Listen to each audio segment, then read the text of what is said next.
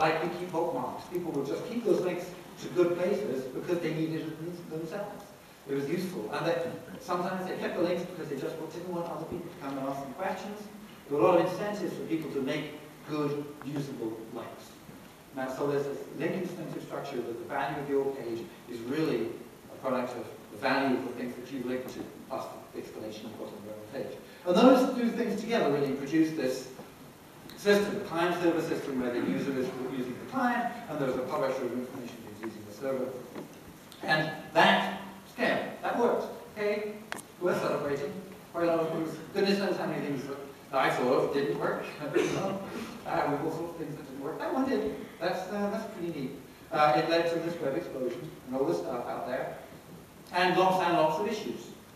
We won't go through all of issues. One of them, which will come in later, is that people felt they couldn't find stuff. They realized that there was so much stuff out there by following 10 links, they were getting to a ridiculous number of possible pages. So they get this. There was actually a fear that went around.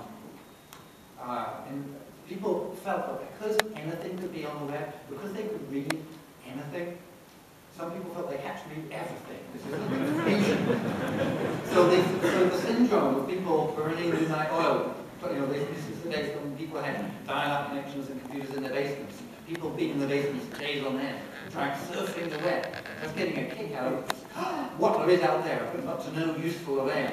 There was that, that, that was the, the, so after a while, while people realized that was more stuff out there that surf, and they wanted to be able to get this more efficiently.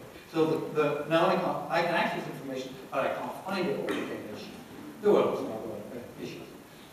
Just looking at the design, um, elements of the design, two, I can pull out one of them is universality. The had to be a universal space.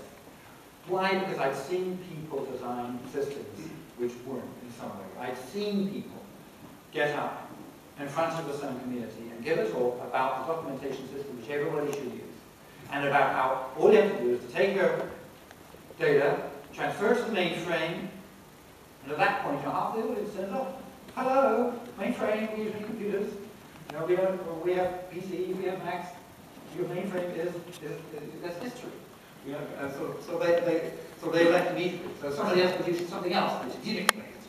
Uh, and, and, you can access it from the mainframe. All you have to do is to convert your, your document into the HTML. What? HTML? No, we use Microsoft Word.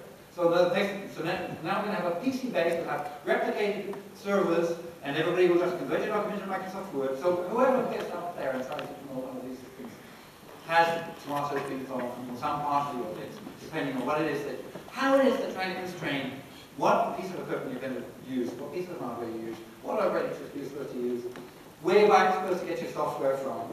All right, these are things, obviously, if I was going to try to make a virtual system in which you should be able to put anything. And that was the power of it. The power of hypertext link is being able to link to anything. Then I couldn't ask anything else. You can't ask everybody to put in hands, for example, that they should pay me tuppence for every link. That wasn't. Can't ask anything else. Can't ask, for example, that they have to put it in in a particular language. And you have to be, you have to be very careful in designing the web to make sure that we're not only independent languages, using Unicode and whatever, or all various other aspects of culture. It's very easy to design a system which assumes that you're using Western culture when you design a culture system or something.